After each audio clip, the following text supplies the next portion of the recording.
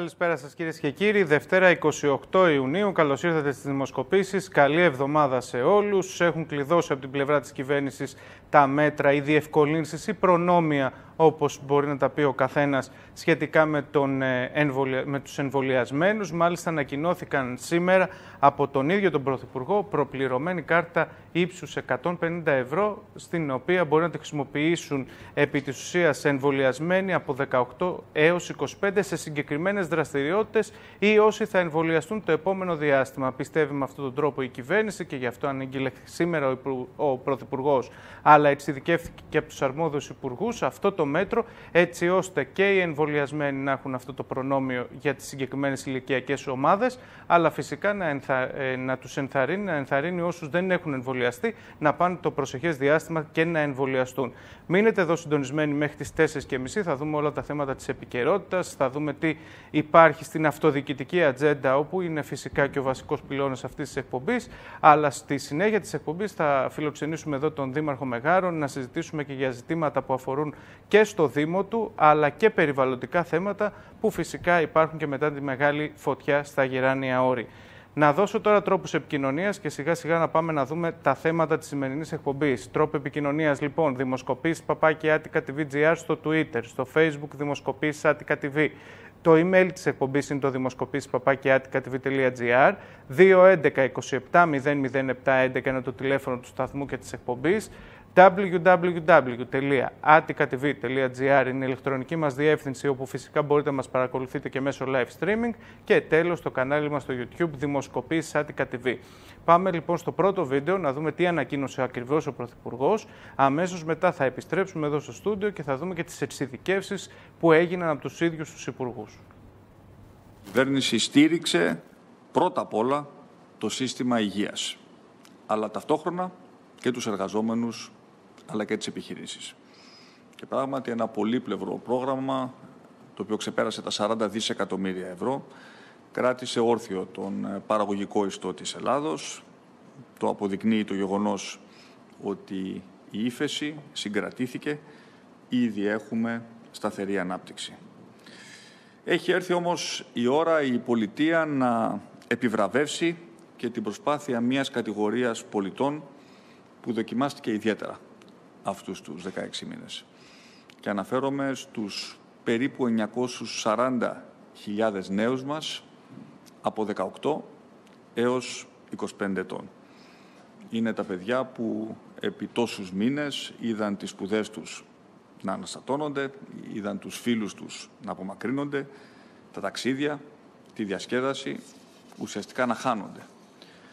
Από σήμερα λοιπόν στους νέους μας ανοίγεται ένα ακόμα παράθυρο ελευθερίας για τον ελεύθερο χρόνο τους.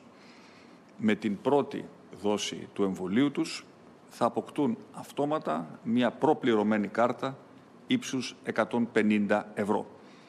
Αυτή, όπως θα δούμε και στη συνέχεια πιο αναλυτικά, θα καλύπτει εισιτήρια για ταξίδια, έξοδα για ξενοδοχεία, αλλά και την είσοδο σε χώρους πολιτισμού, σε συναυλίες, σε σινεμά, σε θέατρα, σε μουσεία.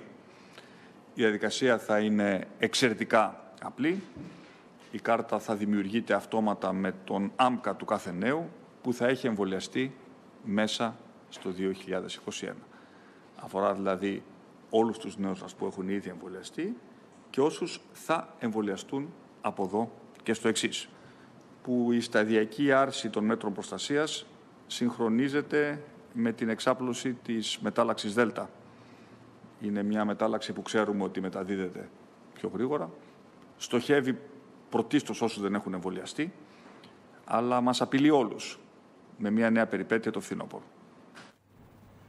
Μάλιστα. Πάμε σε αυτό το σημείο να δούμε πότε, πώς και πού μπορεί να αξιοποιηθεί αυτή η κάρτα σύμφωνα με τα λεγόμενα και τις τοποθετήσεις των αρμόδων υπουργών. πρωτοβουλίας είναι το Freedom Pass. Τι προσπαθούμε να κάνουμε, αντιχώντας τα όσα μόλις περιγράψετε, κύριε Πρόεδρε, ενθαρρύνουμε τους νέους 18 25 να ταξιδέψουν και να παρακολουθήσουν πολιτιστικές δραστηριότητες. Δύο τομείς που επλήγησαν ιδιαίτερα από την πανδημία. Όπως ήδη αναφέρατε, είναι από τη μία μια πράξη αναγνώρισης, ότι είναι όλα όσα οι νέοι στερήθηκαν, αλλά είναι και μια πράξη ενθάρρυνσης για να μπορέσουμε να επιταχύνουμε τον εμβολιασμό σε αυτές τις ηλικίες. διαθέσιμο σε γεννηθέντες από το 1996 μέχρι το 2003, που θα έχουν εμβολιαστεί με τουλάχιστον μία δόση, είτε αυτοί που εμβολιάστηκαν, όπως είπατε, είτε αυτοί που θα εμβολιαστούν. Χρεωστική ψηφιακή κάρτα, η οποία θα αποθηκεύεται στο ψηφιακό πορτοφόλι του κινητού. Θα μπορεί φυσικά να υπάρχει και σε φυσική μορφή, αλλά κατά βάση κοιτάζουμε την ψηφιακή υποδομή. Αξίας 150 ευρώ, διαθέσιμο πριν το τρίτο δεκαήμερο του Ιουλίου, μέσα στο δεύτερο δεκαήμερο του Ιουλίου θα είναι διαθέσιμο. Πού το χρησιμοποιώ; Η κάρτα αυτή δεν θα μπορεί να χρησιμοποιηθεί παντού. Θα είναι στοχευμένη σε συγκεκριμένες δραστηριότητες, τουριστικές και πολιτιστικές. Αεροπορικές, ακτοπλοϊκές, σιδηροδρομικές και οδικές μεταφορές, ενοικίαση οχημάτων, καταλήμματα κάμπινγκ και κατασκηνώσεις, ταξιδιωτικά γραφεία, κινηματογράφος, θεατρικές και μουσικές παραστάσεις, παραστάσεις χορού, μουσεία, αρχαιολογική χώρη, ανάμεσα σε άλλα. Θα είναι δηλαδή προεπιλεγμένες κατηγορίες στις οποίες θα μπορεί η κάρτα αυτή να χρησιμοποιείται. Πώς αποκτά κανείς αυτή την κάρτα; Την ημέρα που θα ανακοινώσουμε ότι είναι διαθέσιμη, θα μπορεί κανείς να μπει στην πλατφόρμα του gov.gr, αφού ενδιαφερόμενος φυσικά θα έχει κάνει ήδη έστω μία δόση του εμβολίου. Η διαδικασία θα ολοκληρώνεται την επόμενη ημέρα, δηλαδή θα γίνεται η αίτηση μία ημέρα και την αμέσως επόμενη ενδιαφερόμενος θα λάβει όλες τις σχετικές οδηγίες μέσω email και SMS.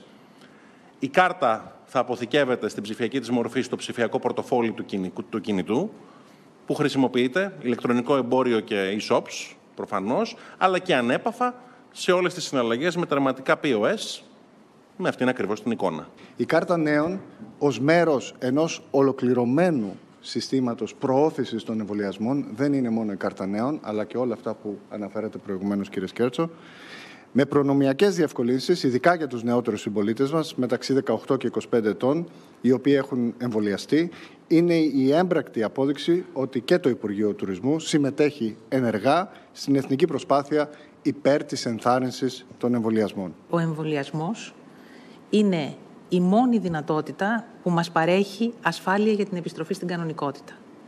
Ο εμβολιασμός, ο οποίος καθώς θα επεκτείνεται σε μεγαλύτερα ποσοστά και θα καλύπτει το μεγαλύτερο φάσμα ηλικιών, είναι αυτός που θα δημιουργήσει το τείχος ανοσίας, που θα εξασφαλίσει ότι η επόμενη μέρα θα είναι απολύτως ασφαλής και εμείς θα είμαστε υγιείς.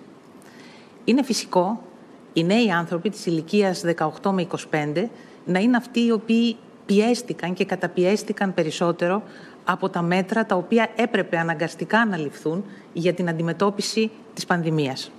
Σήμερα η κυβέρνηση, έτσι όπως μόλις ανακοίνωσε ο Πρωθυπουργός, ο Κυριάκος Μητσοτάκης, έρχεται από τη μια να επιβραβεύσει όσους έσπευσαν να εμβολιαστούν και όσοι πρόκειται να εμβολιαστούν, γιατί οι ίδιοι έχουν συνειδητοποιήσει ότι με τον εμβολιασμό κατακτούν ευκολότερα την ελευθερία.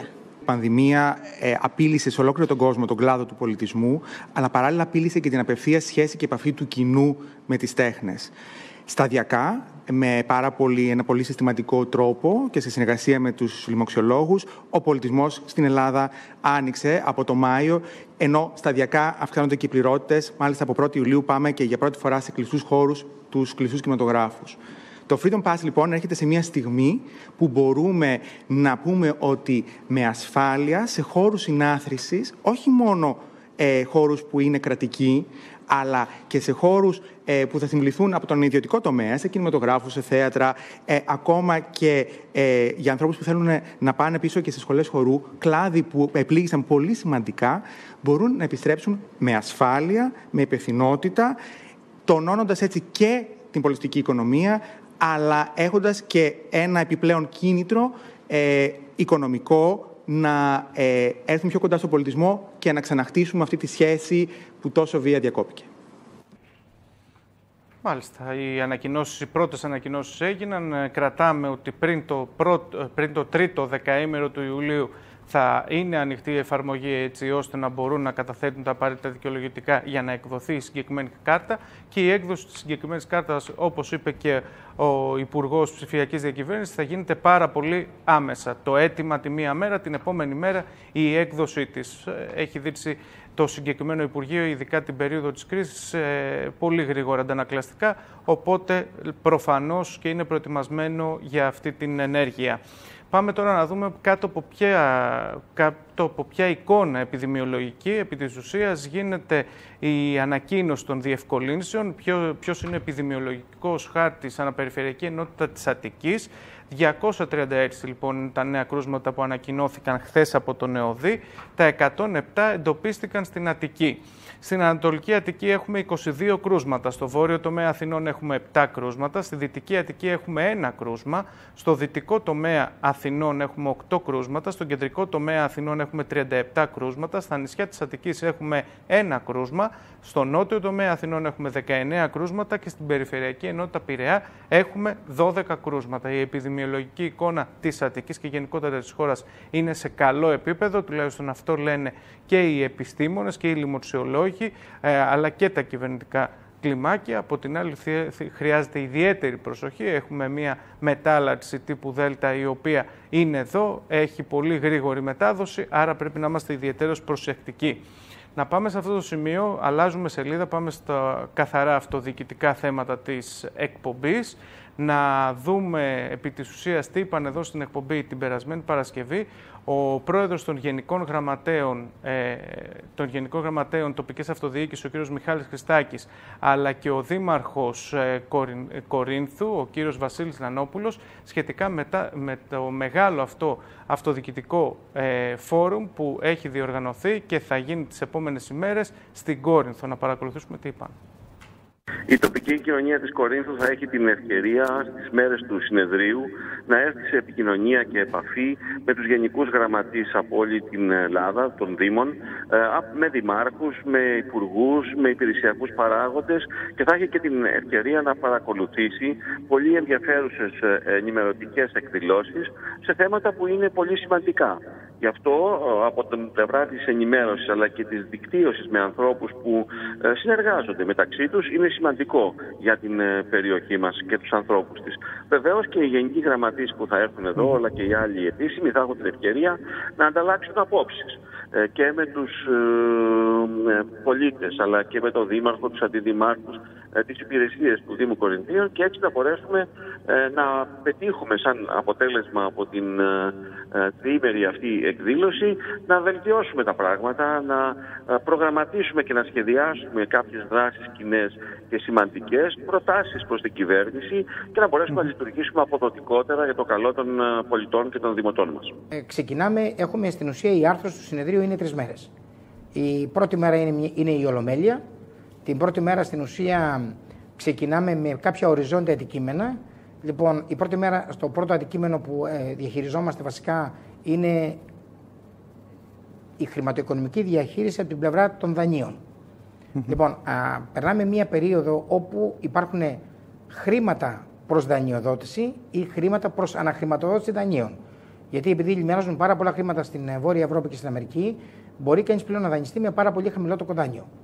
Γιατί, πρώτον, για να κάνει ένα αναπτυξιακό έργο στην περιοχή του και δεύτερον, γιατί μπορεί να αναχρηματοδοτήσει με υψηλά επιτόκια που έχει πάρει παλιότερα δάνεια, άρα να εξοικονομήσει πόρους από εκεί που έχουμε απώλεια κάθε χρόνο. ξεκινάμε λοιπόν με τα δάνεια. Λοιπόν, αυτή είναι η πρώτη, είναι η πρώτη συνεδρία. Μετά, μετά συνεχίζουμε με θέματα εσωτερικού ελέγχου. Είναι κάτι που έχει ξεκινήσει να συζητιέται από το 2017. Έχουμε διάφορες νομοθεσίες, αυτές καταλήξαμε πλέον σε ένα μεγάλο νομοθετικό πλαίσιο πρόσφατα.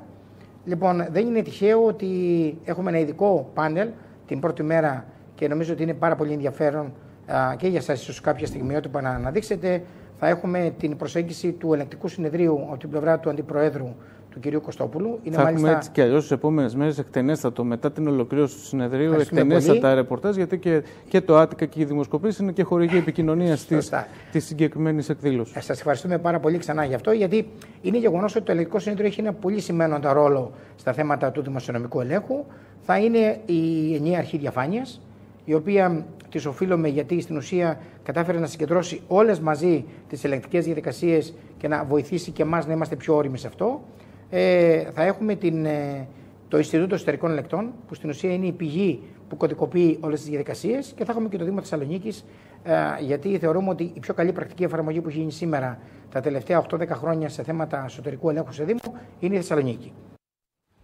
2 με 4 Ιουλίου, λοιπόν, στο Δήμο Κορίνθου, ένα πολύ σημαντικό συνέδριο για την ε, τοπική αυτοδιοίκηση. Πριν πάμε στο δελτίο ειδήσεων με νέα της τοπικής αυτοδιοίκησης, σε μια πολύ σημαντική, ένα πολύ σημαντικό έργο από την Περιφέρεια Αττικής στο Δήμο Ασποπύργου. Αναφερόμαστε φυσικά στο νέο δεύτερο Γενικό Λύκειο Ασποπύργου, το οποίο δημιουργείται με πόρους της Περιφέρειας Αττικής. Η Περιφέρεια Αττικής, λοιπόν, ο Περιφερειάρχης ο κ. Γιώργος Πατούλης, ο Αντιπεριφερειάρχης ο κ. Κοσμόπουλος, αλλά και η Δημοτική Αρχή Ασπροπύργου του Νίκου Μελετίου εκπώνησαν τη μελέτη για την κατασκευή του νέου Λυκείου, η δαπάνη για το οποίο εντάχθηκε στον προπολογισμό της Περιφέρειας Αττικής. Ένα πολύ σημαντικό έργο για την περιοχή, ύψους 8 εκατομμυρίων ευρώ, έρχεται να απαντήσει φυσικά σε χρόνιες ανάγκες της περιοχής. Ένα πολύ σημαντικό έργο που δρομολογείται ε, και το επόμενο διάστημα θα υπάρχει επιπλέον ένα λύκειο, το δεύτερο λύκειο, ε, γενικό λύκειο Ασπροπύργου. Πάμε τώρα στη Ματίνα Πολυχρόνη που βρίσκεται εδώ να δούμε και άλλες ειδήσει από το χώρο της τοπικής αυτοδιοίκησης. Έχει συγκεντρώσεις και σήμερα, Δευτέρα, πάρα πολλά θέματα. Καλησπέρα, Γιώργο. Καλή εβδομάδα. Καλησπέρα σας, κυρίες και κύριοι. Κυρίες και κύριοι, κανονικά λοιπόν επιστρέφουν οι υπάλληλοι του δημοσίου στην εργασία τους, οι οποίοι ανήκουν σε ομάδες αυξημένου κινδύνου και μέχρι τώρα τηλεργάζονταν. Σε Μουσείο Δημοκρατίας και Πολιτισμού μετατρέπονται οι πρώην φυλακές οροπού με χρηματοδότηση από το πρόγραμμα δημοσίων επενδύσεων ύψους 6,7 εκατομμυρίων ευρώ. Προβλέπεται ανάπλαση των κτηρίων και απεικόνηση γεγονότων που συνέβησαν στον ιστορικό χώρο. Ένα χρόνο λειτουργίας συμπλήρωσε η πλατφόρμα Athens is Back, μέσω της οποίας περισσότερες από 830 αθηναϊκές επιχειρήσεις προβάλλουν δωρεάν στο κοινό τρέχουσες προσφορές, εκπτώσεις αλλά και εκδηλώσεις. Διαδικτυακή ημερίδα για την ανακύκλωση και μείωση των απορριμμάτων διοργανώνει ο Δήμος Αμαρουσίου αύριο στις 7 το απόγευμα. Η μετάδοση θα γίνει από τη σελίδα marusi.gr και σε νέα από την περιφέρεια. Υποψήφιος θα είναι ξανά στις αυτοδιοικητικές εκλογές του 2023 ο νυν Περιφερειάρχης Γιώργος Πατούλης, ο οποίος τόνισε πως παραμένει φανατικός οπαδός της αυτοδιοίκησης και έτσι θα διεκδικήσει και δεύτερη θητεία για να ολοκληρώσει, όπως είπε χαρακτηριστικά, το έργο του η ανακαίνιση του κτηρίου της Εκκλησιαστικής Λεουσίους Στέγης για, τη για τη λειτουργία μονάδας φροντίδας ηλικιωμένων, ιεράς Μονής Ύδρας, Σπετσών και Αιγίνης βρέθηκε στο επίκεντρο συνάντησης του Περιφερειάρχη με τον Σεβασμιότατο Μητροπολίτη Εφραίμ. Και κλείνοντας, σε τροχιά υλοποίησης η αναβάθμιση του δικτύου ύδρευσης στη Νέα Μάκρη και ειδικά των περιοχών Μάτι και Ζούμπερι. Δήμος και Περιφέρεια υπέγραψαν προγραμματική σύμβαση με χρηματοδότηση που ξεπερνά τα 4 εκατομμύρια ευρώ.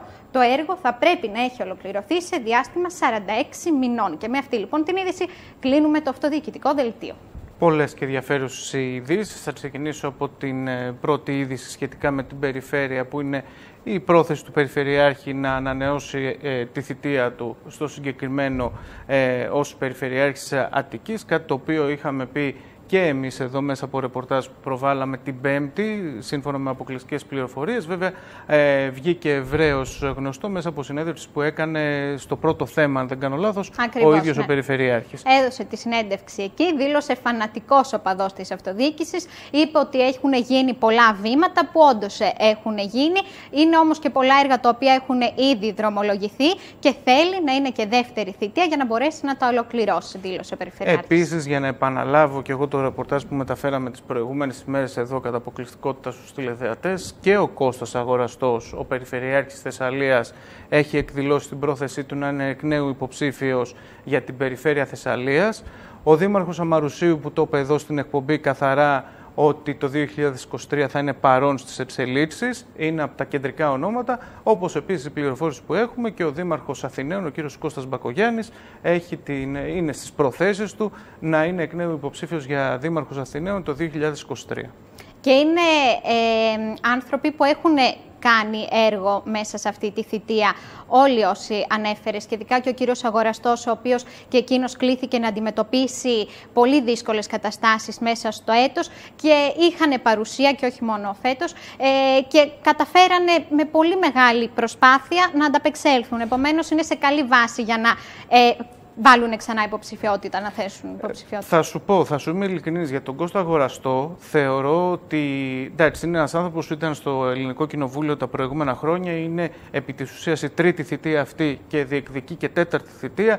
Υπήρχε ε, μία φημολογία ότι ενδεχομένως να τον κέρδιζε το ελληνικό κοινοβούλιο και να πήγαινε προς τα εκεί. Φαίνεται όμως ότι η περιφέρεια Θεσσαλίας ε, έχει ισχυρούς δεσμούς, οπότε δεν αφήνει την περιφέρεια Θεσσαλίας. Αυτό που φαίνεται και σύμφωνα με τις πληροφορίες που έχουμε, παρόλο που είμαστε επί της ουσίας δύο χρόνια πριν από τις αυτοδιοικητικές εκλογές και τώρα το Σεπτέμβριο ολοκληρώνονται, ολοκληρώνονται και τα δύο πρώτα χρόνια αυτής της ε, δημοτικής και περιφερειακής θητείας, ότι οι ζυμώσεις έχουν ξεκινήσει. Αυτό δείχνουν ακόμα και σε μικρότερους Δήμους. Εμείς είπαμε πολύ κεντρικά πρόσωπα, πολύ ε, μεγαλύτερους Δήμους τέλος πάντων, αλλά φαίνεται ότι οι ζυμώσει σε, σε τοπικό επίπεδο για το τι θα γίνει στις εκλογές του 2023 που υπενθυμίζω στους τηλεθεατές πάμε με τελείως διαφορετικούς κανόνες από τις εκλογές τις προηγούμενες. Έχουμε πίσω μας την απλή αναλογική. Είμαστε σε ένα σύστημα διαφορετικό με 43% από την πρώτη Κυριακή φαίνεται ότι οι διεργασίες και οι ζυμώσει έχουν ε, αναπτύσσονται. Και είναι νωρίς ακόμη, βέβαια. Λέει, ίσως επειδή έχουμε και εντελώς άλλη βάση πλέον και θα γίνεται αλλιώς η εκλογή με όλα αυτά τα οποία γνωρίζουμε και έχουμε πει. σω και γι' αυτό ξεκινούν από τώρα να δουν πώς θα προετοιμαστούν. Αλλά είναι νωρίς και όλοι λένε, δηλαδή τα πιο μεγάλα ονόματα κυρίως, ε, είναι νωρίς τώρα που λένε ότι θα είναι ξανά υποψήφοι. Κοίτα τι γίνεται στα, στους κεντρικούς δήμους ή στις περιφέρειες υπάρχει και το πολιτικό στοιχείο. Γι' αυτό συνήθως οι υποψηφιότητες ανακοινώνονται ε, αργότερα. Η αλήθεια είναι αυτή. Τουλάχιστον για τα πρόσωπα που είναι ήδη στις συγκεκριμένες θέσεις. Εντάξει, δεν, δεν νομίζω ότι περιμένει κανείς ότι ο κύριος Μπακογιάννης δεν θα είναι ξανά υποψήφιος. Δηλαδή. Ε, το ερώτημα που του τέθηκε είναι αν τον ενδιαφέρει, αν συνεχίζει να τον ενδιαφέρει η αυτοδιοίκηση ή κάτι πολιτικό. Είναι νωρίς ακόμη για να αφήσει την αυτοδιοίκηση. Πάντως, σε κάθε περίπτωση, στους κεντρικούς, στους μεγάλους Δήμους και στις περιφέρειες, το πολιτικό στοιχείο είναι σημαντικό. Δηλαδή, το τι θα πει το κόμμα συνήθως που στηρίζει τις υποψηφιότητες. Οπότε, οι υποψηφιότητες ανακοινώνονται πιο μετά. Συνήθως τα πρόσωπα που ανακοινώνουν νωρίς είναι δύο κατηγοριών. Ή τα πρόσωπα που θέλουν να κλείσουν όλα τα σενάρια και να πούν ότι είμαστε, δηλώνουμε παρόν και θέλουμε να συνεχίσουμε ε, το έργο που κάνουμε, ή τα πρόσωπα που είναι καινούρια και θέλουν να αρχίσουν σιγά σιγά οι τοπικές κοινωνίες να τους γνωρίσουν. Αυτοί είναι ναι. συνήθως οι δύο παράγοντες. Και να δούνε, γιατί αν δεν πάρουν ας πούμε, το χρήσμα, θα πρέπει να δούνε μια εντελώς σε άλλη βάση το πώς θα κινηθούν. Επομένως, ίσω. Νομίζω δεν υπάρχουν χρήσματα πια. Δεν ενδιαφέρουν ε, τα χρήσματα πια. Εντάξει. Σε, ναι. Τουλάχιστον ε, στο μεγαλύτερο ποσοστό αυτό που είχαμε ζήσει τα προηγούμενα χρόνια. Καλά. Και μιλάω, δεν υπάρχουν πια. Μη σου πω ότι αυτό που είδαμε και στις εκλογές του 2019, τις αυτοδιοικητικές, είναι ακόμα και όταν δίνονται τα χρήματα, έβγαιναν οι ίδιοι υποψήφοι δήμαρχοι και έλεγαν ότι δεν τα θέλουν τα χρήματα. Ναι, το, γιατί... το ζήσαμε σε πολλές περιπτώσεις. Για να μην έχουν το στίγμα της ε, ταμπέλας το κάνουν, αλλά ε, δεν είναι και έτσι, γιατί μια στήριξη ε, πάντοτε την αποζητούν, είτε φαίνεται την αποζητούν, είτε αλλά όχι. Συνήθως γίνεται, γίνεται κάτω από το τραπέζι. Δηλαδή πάνω από το τραπέζι ναι. δεν υπάρχουν και συνήθως δεν ζητάνε χρήματα. Ε, ναι, για να μην έχουν το στίγμα. Αλλά έστω κάτω από το τραπέζι είναι απαραίτητη μία στήριξη, ε, είτε λέγεται είτε όχι, εν πάση περιπτώσει. Λοιπόν, πάμε και σε άλλες ειδήσεις από το αυτοδιοικητικό δελτίο. Ε, Athens is back, κεντρικό ναι. θέμα που προτάσει και στα πρώτα τρία θέματα τα αυτοδιοικητικά. Τι παραπάνω έχουμε; Είναι λοιπόν μία πλατφόρμα, πολιτισμός ξανά Γιώργο, γιατί ε, βλέπουμε ότι από τη στιγμή που άρχισε να ανοίγει το πράγμα, οι δραστηριότητες οι πολιτιστικές, είναι ένας, ε, ένα πλήθος πολιτιστικών δράσεων, το οποίο αφορά πολύ τον κόσμο. Athens is Back λοιπόν είναι μία πλατφόρμα του Δήμου Αθηναίων, πάνω από 5.000 επιχειρήσεις έχουν μπει σε αυτή και είναι πολύ ενδιαφέρον γιατί έχει στόχο να στηρίξει τις τοπικές τοπικές επιχειρήσεις του Δήμου Αθηναίων και όποιος θα μπει στην πλατφόρμα αυτή θα βρει προσφορές οι οποίες τρέχουν για το χρονικό διάστημα που θα επισκεφτεί την πλατφόρμα, πολιτιστικές εκδηλώσεις οι οποίες έχουν προγραμματιστεί στο άμεσο μέλλον και μπορεί να επιλέξει και να βρει εκεί και ειδικές τιμές που υπάρχουν. Να αναμένουμε το επόμενο διάστημα να γίνει και εφαρμογή, γιατί θα γίνει εφαρμογή και για το κινητό μας τηλέφωνο, για να είναι ακόμη πιο εύκολο για όσους θέλουν να δουν τι πολιτιστικές δραστηριότητες έχει ο Δήμος Αθηνών. Απλά κατεβάζοντας την εφαρμογή στο κινητό τους, θα μπορούν να το δουν και ξαναλέω να δουν και τις προσφορές. Γιατί έχει μέσα προσφορές από χώρους πολιτισμού, δηλαδή θέατρα, κινηματογράφους, ακόμη και μουσεία. Έχει από ξενοδοχεία, ακόμη και αυτό. Από εμπορικά καταστήματα, από εστιατόρια. Ό,τι δυνατότητα μπορεί, ό,τι για να κάνει την έξοδό του, για να περάσει όμορφα στον Δήμο Αθηνών, θα το βρει μέσα στο Athens is Back. Και είναι 5.000 επιχειρήσεις, 500 είναι οι πιο ενεργές. Πάνω από 500, τώρα που θα κατέβει, που θα είναι και πλατφόρμα για το κινητό, θα είναι ακόμη πιο εύκολο. Μαρτίνα, πολύ χρόνο σε ευχαριστούμε. Ανανεώνουμε το ραντεβού μας για αύριο Καλή εδώ συνέχεια. την ίδια ώρα.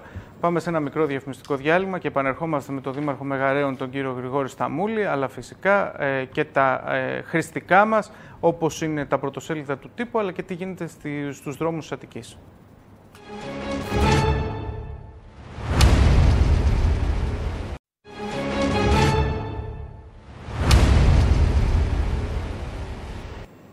Επιστρέφουμε, δεύτερο μέρος της εκπομπής. Πάμε γρήγορα να δούμε τα πρωτοσέλιδα τοπικών εφημερίδων και ξεκινάμε με την επικαιρότητα Δυτικής Αττικής προς κατασκευή έργο υποδομής 12,3 εκατομμυρίων ευρώ.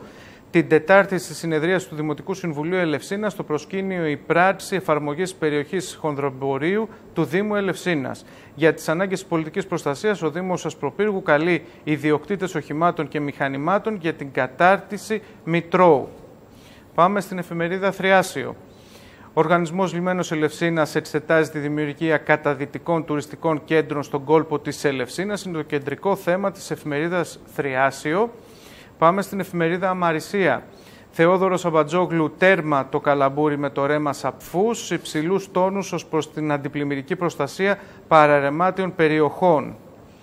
Πάμε στην εφημερίδα Συνείδηση. Ανάσες πολιτισμού, αξιόλογες θεατρικές παραστάσεις και συναυλίες όλο το καλοκαίρι στο Διεθνές Φεστιβάλ Πέτρας του Δήμου Πετρούπολης. Και κλείνουμε με την εφημερίδα Κοινωνική. Επιβεβαίωση της κοινωνικής κλείδωσε η απαλωτρίωση των οικοπαίδων Χροπή Χαραγκιόνι. Είναι το βασικό θέμα της εφημερίδας Κοινωνική. Πάμε τώρα στη συνέδεψη, στη σημερινή συνέδεψη. Δίπλα μου βρίσκεται καλεσμένος εδώ στις εκπομπή ο Γρηγόρης Ταμούλης, ο Δήμαρχος Μεγαρέων. Δήμαρχε, καλησπέρα, καλώς ήρθατε. Καλησπέρα. Να ευχαριστήσω και εσά αλλά και το κανάλι σας που μας δίνει πάντα βήμα να εκφράσουμε τις απόψεις μας, τις αγωνίες μας, τα, προ- τα προβλήματα του τόπου μας για να ακουστούν και παραπέρα και να Αυτό. τύχουν και ευνοϊκής μεταχείρισης και κυρίως επίλυσης. Αυτό είναι το και το σημαντικότερο. Βρίσκεστε εδώ μάλιστα συγκυριακά και σε μια πολύ κομβική χρονική στιγμή μετά από μια πολύ σημαντική πρωτοβουλία του Δήμου σας και μια ημερίδα που διοργανώθηκε τις προηγούμενες μέρες. Αλλά θα θεωρήσω, Δήμαρχε, το βασικότερο ήταν η αυτοψία που έγινε από ειδικούς επιστήμονες στα, στην καμένη περιοχή των Γυρανίων. Το σημαντικότερο όλο να μας ε, πείτε ποια είναι τα συμπεράσματα αυτής της ημερίδας, ποιες είναι οι συνέπειες ουσιαστικά και τι πρέπει να γίνει άμεσα σε αυτή την περιοχή. Εδώ πρέπει να πούμε ότι δεν μπορεί να είμαστε ειδικοί και να τα ξέρουμε όλοι, όλα, να έχουμε άποψη παντός επιστητού. Γι' αυτό και προκαλέσαμε αυτή την, ε, την όλη διαδικασία με την αυτοψία και με τα συνεδρία, την ειδική ημερίδα που κάναμε για να παρουσιαστούν οι απόψεις, τα συμπεράσματα και, και οι προτάσεις. Αυτό ήταν ε, απόρρια της ε, μεγάλης καταστροφικής ε, πυρκαγιάς που έπληξε τα, τα γεράνια όρη. Ε, μια πυρκαγιά που κατά κύριο λόγο ε, δημιούργησε μεγάλες καταστροφές στα Μέγαρα, παρότι πολλοί εξακολουθούν ακόμα να τη λένε πυρκαγιά της Κορινθίας. Της Κορινθίας, εμείς το είχαμε αποσαφηνίσει κα, τότε Κατά από την πρώτη- ακρίβεια είναι πυρκαγιά των Μεγάρων. Έκαψε βέβαια και, και από εκεί ξεκίνησε, από το Δήμο Λουτρακίου, ε, 10 η ώρα το βράδυ, αλλά τα ξημερώματα της επομένης, από 3 η ώρα το πρωί, πέρασε στο Δήμο Μεγαρών και επί δύο μέρες έκυγε ακατάπαυστα, δημιουργώντας, δημιουργώντας τεράστιες καταστροφές και σε δασικές εκτάσεις, αλλά και σε καλλιέργειες και σε σπίτια κτλ. Ε, μια ζημιά, τα λέγαμε, ανεπανόρθωτη, ε, σε εισαγωγικά γιατί θα φροντίσουμε με κάθε τρόπο και θα πιέζουμε προς κάθε κατεύθυνση να γίνει η επανόρθωση, να γίνει η φυσική αναγέννηση του δάσους όπου αυτό είναι εφικτό ή να γίνουν αναδασώσεις όπου δεν μπορεί η φύση από μόνη της να ενεργήσει. Ε, και κυρίως ε, μας ενδιαφέρει και η αγωνία μας η μεγάλη είναι η επόμενη μέρα. Γιατί το έχουμε ζήσει, έχουμε και την εμπειρία της πυρκαγιάς της ε, Κινέτας, που μετά μας προέκυψε και η πλημμύρα της Κινέτας, γιατί είναι γνωστό όταν καίγονται τα δάση, τα πλημμυρικά φαινόμενα πολλαπλασιάζονται, οι κίνδυνοι είναι πολύ μεγαλύτεροι, διότι δεν υπάρχουν τα δέντρα να συγκρατούν τα νερά, να πέφτουν στο έδαφος σε διαφορετικούς χρόνους, ε, σταδιακά δηλαδή, να- από τα φυλώματα δεν να, υπάρχει πέφτουν κάτι να παρακάτω. ανακόπτει την δεν, πορεία υπάρχει, του νερού. δεν υπάρχει το ριζικό σύστημα να πα- απορροφά νερό. Όλα αυτά είναι σοβαρά προβλήματα και αυτά είναι που μας ανησυχούν και επειδή σε πολλές περιοχές τα εδάφη δεν είναι συνεκτικά, έχει βέβαια και τα απόκρημνα και τα βραχώδη σημεία, αλλά σε πάρα πολλές περιοχές είναι σαθρά τα εδάφη και τώρα που κάει και η βλάστηση, φύγανε τα δέντρα, άρα υπάρχει μεγάλος κίνδυνος όλα αυτά με μια νεροποντή να κατρακυλήσουν, να έχουμε ακόμα και καθιζήσεις ε, δρόμων, ίσως και καταστροφή δρόμων, αλλά το πιο σημαντικό είναι ότι όλες αυτές οι φερτές ύλες θα μεταφερθούν μέσα από, τα, από τους χυμάρους, θα μεταφερθούν ε, προς τα πόλεις. κάτω Στη- με ορατό το κίνδυνο και για την περιοχή του Αλεποχώρης της Αιγυρούσες στο Πευκογιάλη συγκεκριμένα που είναι το σοβαρότερο πρόβλημα αλλά από τα γεράνια εκπηγάζουν και άλλοι χήμαροι που καταλήγουν στα Μέγρα όπως είναι το ρέμα Μαυρατζά, το ρέμα της Αγίας Παρασκευής και το ρέμα της Καμάρας που και αυτά θα πρέπει να προσεχθούν ε, ιδιαίτερα. Επομένως πρέπει ταχύτατα να γίνουν έργα αντιδιαβρωτικά και αντιπλημμυρικά, πέρα από αυτά που είπαμε για την, ε, για την αναδάσωση. Και οπωσδήποτε βέβαια να αποζημιωθούν οι πληγέντες που δεν είναι λίγοι. Ε, από πλευράς Δήμου έχουμε κινήσει όλες τις διαδικασίες, τουλάχιστον σε ό,τι μας αφορά, να δοθούν άμεσα και ήδη έχουμε ξεκινήσει και πολύ σύντομα θα αρχίσουν να πληρώνονται.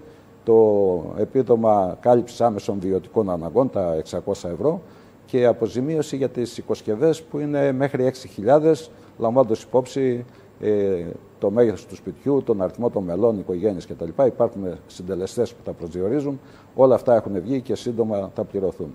Άρα, επί της έπρεπε, ουσίας, όμως, ναι. ναι, έπρεπε όμως, για να μην κάνουμε εμείς τους ειδικούς και να πούμε τι μέλη γενέστε, ε, έπρεπε να φέρουμε και τους ειδικούς. Και κάναμε μια μεγάλη προσπάθεια και νομίζω ότι έγινε και με πολύ μεγάλη επιτυχία. Αν σκεφτούμε ότι σε αυτή την προσπάθεια και τους ευχαριστούμε δημόσια που προσέτρεξαν ε, ανιδιοτελώς και άφιλοκερδός τρεις καθηγητές από το Αριστοτέλειο Πανεπιστήμιο Θεσσαλονίκης, ε, δύο καθηγητές από το Γεωπονικό Πανεπιστήμιο Αθηνών, δύο υποψήφοι διδάκτορες από το Δημοκρι- ε, Δημοκρίτιο Πανεπιστήμιο και επιστήμονες εκπρόσωποι από το Γεωτεχνικό Επιμελητήριο Ελλάδας, από την Πανελλήνια Ένωση Δασολόγων και από την Πανελλήνια Ένωση Δασολόγων Δημοσίων Υπαλλήλων. Ήταν πάρα πολύ σημαντικό. Οι άνθρωποι μέσα στην, στον καύσωνα, γιατί την ημέρα που ήρθαν την Πέμπτη είχε πάρα πολύ ζέστη. Ε, πήγανε συνοδεία βέβαια και το, από το Δήμο με αντιδημάρχους και τα λοιπά μαζί και κάνανε αυτοψία και περιέτρεξαν όλες τις ε, καμένες περιοχές για να έχουν ε, η, Η ίδια ιδία την εικόνα. άποψη ε, όσον αφορά το χώρο και την ε, Παρασκευή το πρωί είχαμε αυτή την ημερίδα όπου παρουσιάστηκαν ε, τα συμπεράσματά τους. Είναι λίγο πολύ αυτά που λέμε ότι πρέπει άμεσα να προχωρήσουν και τα αντιδιαβρωτικά έργα γιατί Και σε τα πολλά έδρα, αντιπλημμυρικά. και τα αντιπλημμυρικά, διότι οι κίνδυνοι και τους εξήγησαν και επιστημονικά για τις πλημμύρες είναι πάρα πολύ μεγάλοι και μας εξήγησαν και το πλαίσιο των αναδασώσεων που πρέπει να γίνει επιστημονικό το τρόπο και όχι ο καθένας να πει «Α, θα πάω εγώ σε αυτό το κομμάτι να κάνω, να κάνω ανα- αναδάσωση. αναδάσωση». Που πολλές Και φορές το βλέπουμε και σαν το επικοινωνιακό βλέπουμε, μπράβο, πολλοί τέχνασμα. λένε, εντάξει, όχι από καλό το κάνουν οι άνθρωποι, από την αγωνία τους να ξαναγίνουν τα δάση. Λένε πρέπει να περιμένουμε. Πρέπει να περιμένουμε ένα χρονικό διάστημα να, για να δούμε η φύση από μόνη της τι κάνει. Και να βοηθήσουμε εκεί που η φύση δεν μπορεί να ανταπεξέλθει και να ε, αναγεννήσει αυτά που Άρα, επί καταστράφηκαν. της ουσίας, Δήμαρχε, το, Επομένως, το επόμενο μεγάλο στίχημα είναι να γίνουν όλα τα αντιπλημμυρικά και αντιδιαβρωτικά ε, Διαβρωτικά. διαβρωτικά Ναι. έργα στην περιοχή, ώστε να μην έχουμε κανένα πρόβλημα το φθινόπωρο με τις, Αυτό, ε, με τις αυτό είναι το πλημμύρες. μεγάλο στίχημα και βέβαια δεν αφήνουμε τίποτα στην τύχη. Ε, ξεκινήσαμε αμέσως τις προσπάθειες και μπορώ να πω έτσι με ευχαριστήσεως ότι βρήκαμε ανταπόκριση και με τα Υπουργεία και με τους φορείς και με την Περιφέρεια που έχουμε πάντα άριστη συνεργασία. Ε, οπότε έκανα επαφή και με τον Περιφερειάρχη και με τον Υφυπουργό τον κύριο Αμυρά ε, και με τον ε, πρόεδρο του ΕΛΓΑ, γιατί και εδώ υπάρχει ένα μεγάλο ζήτημα. Ε, όλοι έστησαν ευήκο νους ε, και θα κάνουν ό,τι είναι δυνατόν να επιληθούν όλα αυτά τα, τα προβλήματα. Ήδη από ό,τι μου είπε ο κύριος Σαμυράς έχουν ξεκινήσει και οι μελέτες και μέσα στον Ιούνιο μάλλον θα έχουν ολοκληρωθεί για τα διαβρωτικά και να ξεκινήσουν αμέσως τα έργα και το Σεπτέμβρη θα τελειώσουν και οι μελέτες για τα αντιπλημμυρικά. Πάρα πολύ. Σε συνεργασία λοιπόν τα Υπουργεία με την Περιφέρεια, σίγουρα και με το Δήμο, ε, αν όλα αυτά έτσι πάνε όπως σχεδιάζονται, τώρα με τους σχεδιασμούς και την ανταπόκριση που έχω, ε, είμαι πολύ ευχαριστημένος, αλλά δεν εφησυχάζω. Θα είμαστε συνέχεια ε, αυτό που παρατήρησα, Δήμαρχε, από την πρώτη στιγμή, πέρα από αυτό που αναφέρετε τώρα την επόμενη μέρα, που φαίνεται και μια έντονη δραστηριότητα από πλευράς Δήμου, γιατί όπως είπατε και εσείς, βρεθήκατε με όλους τους αρμόδιους έτσι ώστε να προχωρήσουν τα απαραίτητα έργα. Από την πρώτη στιγμή, σπέσατε να κλείσετε οποιοδήποτε σενάριο ώστε αυτή η περιοχή να αναδασωθεί και να έχει πραγματικά το χαρακτήρα που πρέπει να έχει. Είναι αλήθεια ότι επειδή και η κοινωνία φοβάται ε, και πάντα το μυαλό πάει και στο πονηρό και δεν είναι κακό. Καλύτερα να προετοιμαζόμαστε για το χειρότερο, να το αποκλείσουμε παρά να το αφήνουμε και να μας συμβεί και να μην να τρέχουμε εκ των υστέρων. Και η κοινωνία αγωνιούσε και ήταν προβληματισμένη μη τυχόν ότι όλα αυτά γίνονται για να έρθουν τα ορυχεία βοξίτη, ανεμογεννήτρες κτλ.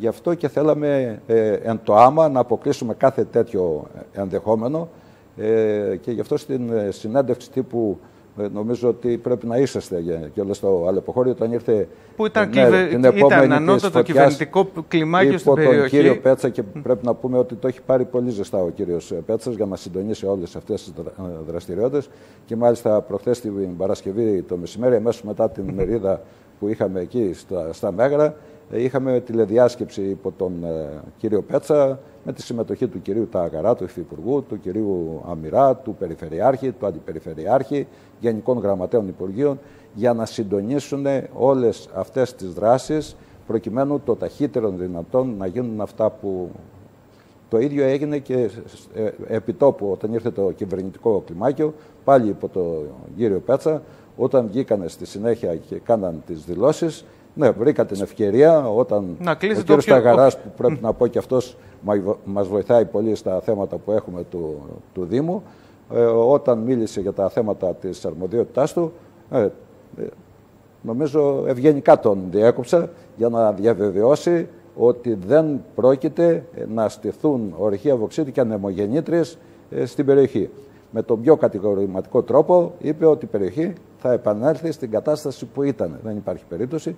Βέβαια το ίδιο πράγμα και ο κύριος Σαμυράς και από το βήμα της Βουλής ε, έχει αποκλείσει κατηγορηματικά ότι στις καμένες περιοχές μπορεί με οποιοδήποτε τρόπο να αλλάξει ε, ο τρόπος λειτουργίας τους και πολύ περισσότερο για να γίνουν, να γίνουν ορυχεία βοξίτη και ανεμογέννητρες. Αυτά το, νομίζω ότι με τον πιο κατηγορηματικό τρόπο και με τον πιο ασφαλή τρόπο το έχουμε αποκλείσει.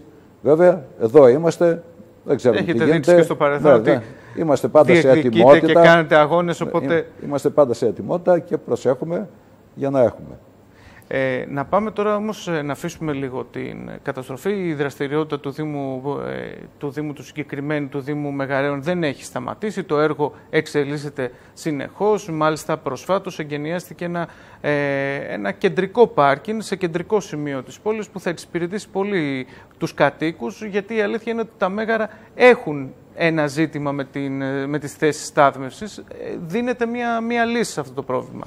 Είναι αλήθεια ότι ένα από τα στοιχεία, και πιστεύω ότι δεν είναι εγωιστικό από αυτά που με χαρακτηρίζουν, ότι με ενοχλεί πάρα πολύ η απραξία. Αν περάσει μια μέρα και δεν κάνω κάτι, θεωρώ ότι δεν έζησα αυτή την ημέρα. Μ' αρέσει η δραστηριότητα και γι' αυτό εξάλλου ασχολήθηκα με τα κοινά. Δεν είχα κανένα λόγο, ούτε επαγγελματίας πολιτικός είμαι, ούτε να κάνω κάποιο επάγγελμα και κάποια καριέρα. Την καριέρα μου την έχω διαγράψει και νομίζω μεγάλη επιτυχία στο στρατό. Στο στρατό. Αλλά επειδή μ' αρέσει η, η δημιουργία, δεν μ' αρέσει να κάθομαι. Και η ενασχόληση αυτή μου δίνει ένα βήμα να μπορώ να προσφέρω και στο κοινωνικό ε, σύνολο ε, και να έχω την ηθική ικανοποίηση ότι κάτι κάνω. Οπότε δεν περνάει στιγμή να μην κάνουμε τίποτα. Είμαστε σε full δραστηριότητα στο Δήμο. Αυτό το πνεύμα το έχουν στερνιστεί και οι συνεργάτες και μπορώ να πω ότι έχω πανάξιους συνεργάτες, κάνουν πάρα πολύ καλή δουλειά. Γι' αυτό και υπάρχει μεγάλη παραγωγή έργου στο Δήμο. Αυτό το πάρκινγκ που λέτε ήταν μια αγωνία και για να εξυπηρετήσουμε τους κατοίκους, αλλά και να λύσουμε και ένα μεγάλο πρόβλημα. Εκεί που τώρα το βλέπετε ένα ωραιότατο πάρκινγκ, ήταν μια αιστεία μολύσεως. Ένα οικόπεδο ιδιοκτησίας της ΔΕΗ, η οποία δεν το χρησιμοποιούσε, με αποτέλεσμα το χορτάρι πολλές φορές να φτάνει ε, και ένα μέτρο, ε, φίδια, τροκτικά κτλ. Να είναι αιστεία μολύσεως για τη γειτονιά, πηγή συνεχούς ανησυχίας και είπαμε για να, και να το καθαρίσουμε, αλλά και να το αξιοποιήσουμε. Είναι στο κέντρο, δώσαμε μια ανάσα και για την περιοχή και για τη συνοικία, αλλά και κυρίως για το κέντρο, να μπορούν οι άνθρωποι να σταθμεύουν τα αυτοκίνητα, να απελευθερώνονται οι δρόμοι. Έργα κάνουμε συνέχεια. Είναι σε εξέλιξη. Το δεύτερο δημοτικό καινούργιο υπερσύγχρονο κτίριο στη Νέα Πέραμο. Θα στεγάσει το δεύτερο δημοτικό ε, της Νέας Πέραμου. Άλλο κτίριο που, που γίνεται τώρα για να στεγάσει το δεύτερο νηπιαγωγείο. Ένα πολύ μεγάλο έργο ε, καθοριστικό για τη Νέα Πέραμο, ο δρόμος στο παράλληλο μέτωπο της σχολής πυροβολικού. Είναι mm. ένας δρόμος που θα ενώσει τα δύο σημεία της πόλης της Νέας Περάμου, το παλιό με το νέο, απέκοπτε το παραλιακό μέτωπο, τώρα σε λίγες ημέρες θα τελειώσει, θα αποδοθεί στους κατοίκους. Είχα, είχατε συναντήσει ενώσει... κάποια προβλήματα στο συγκεκριμένο έργο, στην πορεία όμως... Μεγάλα προβλήματα. Αυτό το έργο μπορεί να είναι μικρό σε έκταση, να είναι ένας δρόμος 800 ε, ε, μέτρων ε, περίπου, αλλά από πλευράς ε, σημασίας και αξίας είναι τεράστιο. Και είναι πάγιο αίτημα ε, δεκαετιών για τους κατοίκους της Νέας Περάμου. Με πολλά προβλήματα. Βρήκα τρόπο όμως, τα ξεπέρασα και λόγω ε, εμπειρίας mm -hmm. το στρατεύμα του που, που, λένε, ήξερα τις διαδικασίες, ήξερα πώς να κινηθώ και γι' αυτό και ολοκληρώνεται αυτό το έργο. Γίνεται δίκτυο αποχέτευσης ε, ε, στη Νέα Πέραμο, ομβρίων ένα μεγάλο έργο που θα λύσει το πρόβλημα της Νέας Περάμου για να μην ε, πλημμυρίζει. Ε, κατασκευάζουμε βρεφονιπιακό σταθμό ε, στα Μέγαρα. Ε, οι ασφαλτοστρώσεις τα τελευταία λίγα χρόνια έχουν γίνει ε, τόσες που δεν είχαν γίνει ούτε στην 20 ετία και συνεχίζουμε. Έχουμε εξέλιξη άλλο πρόγραμμα και σε λίγες μέρες ξεκινάει και άλλο πρόγραμμα ασφαλτοστρώσεων. Και Μέγαρα και Νέα Πέραμο. Ο προγραμματισμός Είμαστε... σας, ε, Δήμαρχε, ε, ε, θα το ρωτήσω γιατί νομίζω, αν και είμαστε λίγο μακριά από τις επόμενες εκλογές του 2023, αλλά νομίζω ότι όπως είπα και πριν από το διάλειμμα, ότι έχουν ξεκινήσει οι δημόσεις, έχουν ξεκινήσει οι σκέψεις. Ο προγραμματισμός σας φτάνει μέχρι το τέλος αυτής της δημοτικής θητείας ή προγραμματίζετε και κάνετε σχεδιασμό και την επόμενη δημοτική θητεία; Ε, αν εννοείται τον προγραμματισμό των έργων, αυτά δεν έχουν τελειωμό και ό,τι προγραμματίζεις δεν μπορεί να τελειώσει τελειώντας η θητεία, θα συνεχίσει και την επόμενη. Επομένως, δεν θα πω ότι ναι, θέλω να συνεχίσω να ολοκληρώσω το έργο. Το έργο δεν ολοκληρώνεται. Είναι ε, κυλιόμενο. Πάντα κάτι φτιάχνεις, κάτι καινούριο που θα πάει και πέρα από την ε, θητεία κτλ. Ε, πρώτα Θεός, να έχουμε υγεία. Ε, όρεξη έχω, κέφι έχω. Όπως σας είπα, δεν μου αρέσει να κάθομαι. Οπότε θα ασχοληθώ. Θα είμαι πάλι υποψήφιος, θα διεκδικήσω πάλι ε, τη Δημαρχία και για την επόμενη θητεία. Ε, διότι δεν μπορώ να κάθομαι πρέπει κάτι να κάνω, πρέπει κάτι να προσφέρω και αν ε, και οι πολίτες εκτιμήσουν αυτή τη δραστηριότητα και την προσφορά, εγώ θα είμαι στη διάθεσή τους να συνεχίσω γιατί έχουμε κάνει πάρα πολύ έργο και προγραμματίζουμε και μεγαλύτερο. Έχουμε, έχουμε προγραμματίσει να φτιάξουμε, το, να αντικαταστήσουμε τον οδοφωτισμό ε, με LED. Ένα έργο πολύ μεγάλης σημασίας και γιατί θα αυξήσει ε, την ποιότητα του φωτισμού, ε, η νύχτα θα γίνει σχεδόν μέρα και αυτό λειτουργεί Άρα και, το αίσθημα ασφάλειας της ασφάλειας των, των πολιτών. Ε, κάνει και η οικονομία στο Δήμο με τον τρόπο που έχουμε χρηματοδότηση. Η εταιρεία βάζει τα χρήματα και θα αποπληρώνεται από τα κέρδη που θα έχουμε από τη μείωση της κατανάλωσης του, του ηλεκτρικού ρεύματος γιατί είναι πάρα πολύ μεγάλη και κάνει καλό και στο περιβάλλον. Προστατεύει και το περιβάλλον. Είναι ε, οικολογικό. Προγραμματίζουμε να κάνουμε ένα ε, ε, μία μαρίνα στη Νέα Πέραμο. Έχουμε mm. έρθει σε διαβουλεύσεις κτλ. Ε, να κατασκευάσουμε μια εξέδρα στο γήπεδο του, του Βίζα. Να φτιάξουμε ένα σχολείο ακόμα στα Μέγαρα, ένα καινούριο κτίριο να στεγάσει το τέταρτο δημοτικό που είχε πρόβλημα το κτίριο. Θα το κατεδαφίσουμε όπου να είναι και θα φτιάξουμε ένα καινούριο. Θα κάνουμε ανάπλαση, αστική ανάπλαση, να αλλάξει η μορφή της πόλης στο κέντρο των Μεγάρων και στην περιοχή Ακρογιάλη της Νέας ε, Περάμου. Θέλουμε να εμπλουτίσουμε το στόλο των οχημάτων ε, με ηλεκτροκίνητα αυτοκίνητα, φιλικά προς το περιβάλλον και με τεράστια οικονομία για το Δήμο. Και το νέο Γενικό Πολυδημικό Σχέδιο σας το, δίνει το γουπουσού πολλές δυνατότητες. ήδη εγκρίθηκε άλλη μια μεγάλη επιτυχία ε, που λύσαμε μετά από 20 χρόνια.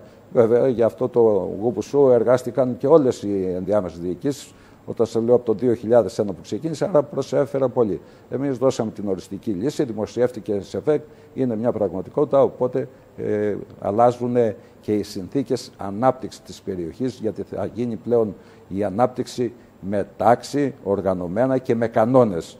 Κανόνες που να τους γνωρίζουν οι πάντες και έτσι να έχουμε μια ισορροπημένη ανάπτυξη με σεβασμό προς το περιβάλλον. Δήμαρχε, θέλω να σας ευχαριστήσω θερμά για την παρουσία σας ε, εδώ στις δημοσκοπήσεις. Θα έχουμε την ευκαιρία να τα, να τα ξαναπούμε τηλεοπτικά. Εμείς παρακολουθούμε πολύ στενά τα ζητήματα που αφορούν στη Δυτική Αττική. Ε, είμαστε, δίνουμε το παρόν σε, όλες τις, ε, σε όλα τα ζητήματα αυτά που προκύπτουν για την περιοχή και προσπαθούμε να τα προβάλλουμε και με το δικό μας τρόπο. Εγώ για άλλη μια φορά να φράσω και τις ευχαριστήσεις αλλά και τα θερμά συγχαρητήρια για την εκπομπή σας και ειδικά σε εσάς που έχετε τόσο αξιόλογη εκπομπή και δίνει βήμα στην τοπική αυτοδιοίκηση. Που πρέπει κάποτε να την κάνουμε τοπική αυτοδιοίκηση, γιατί δυστυχώς τώρα είναι τοπική διοίκηση. Όταν δεν υπάρχει οικονομική ανεξαρτησία, δεν μπορείς να μιλάς για αυτοδιοίκηση. Δυστυχώς, ο τρόπος που λειτουργεί το όλο σύστημα δεσμεύει το, τους Δήμους από πλευράς χρημάτων και πάντα πρέπει να τρέχουμε στα Υπουργεία, στην Περιφέρεια κτλ. για, για χρηματοδοτήσεις, γιατί ο Δήμος δεν έχει δικά του χρήματα, άρα είναι τοπική διοίκηση και πρέπει να την κάνουμε τοπική αυτοδιοίκηση. Αν ήρθατε ένα πολύ μεγάλο θέμα, αλλά θα έχουμε την ευκαιρία το επόμενο διάστημα και με συναδέλφους σας, αυτοδιοικητικούς, δημάρχους, εδώ να το συζητήσουμε, γιατί είναι ένα πολύ μεγάλο θέμα. Και φυσικά σε συνάρτηση και με όλα τα χρηματοδοτικά εργαλεία και τη διευκόλυνση, ε, ανοίγει μια πολύ μεγάλη ατζέντα. Σας ευχαριστώ θερμά, Δήμαρχε. Και εγώ ευχαριστώ. Μείνετε εδώ μαζί μας. Πάμε τώρα να συνδεθούμε με το Κέντρο Διαχείρισης Κυκλοφορίας της Περιφέρειας Αττικής. Κίμων Λογοθέτης βρίσκεται εκεί να μας πει τι γίνεται και στην κίνηση στους δρόμους. Κίμωνα, καλησπέρα, καλή εβδομάδα. Καλησπέρα και καλή εβδομάδα. Είναι δύσκολο το μεσημέρι της Δευτέρας. Έχουμε συμφόρηση αυτή την ώρα στην άνοδο του Κηφισού από την Πέτρου Ράλη μέχρι την Αχαρνών, στην κάθοδο της Βασιλέως Κωνσταντίνου και στην Αρδιτού, στην άνοδο της Αρδιτού, στη Βασιλή Σοφίας μέχρι την Αλεξάνδρα, στην άνοδο της Μεσογείου, στην Ποσειδώνα από το Γλυφάδα από το Δέλτα έως το Τροκατερό και στον περιφερειακό του Καρέα κίνηση αυτή τη στιγμή προς Ηλιούπολη και στην Ποσειδώνα προς Πειραιά, αλλά και στην άνοδο της Πυραιό από την Ιερά Οδό στην Ομόνια, καθώς και στη Σταδίου, στην Πανεπιστημίου και στη Βασιλή της Αμαλίας προς το Σύνταγμα.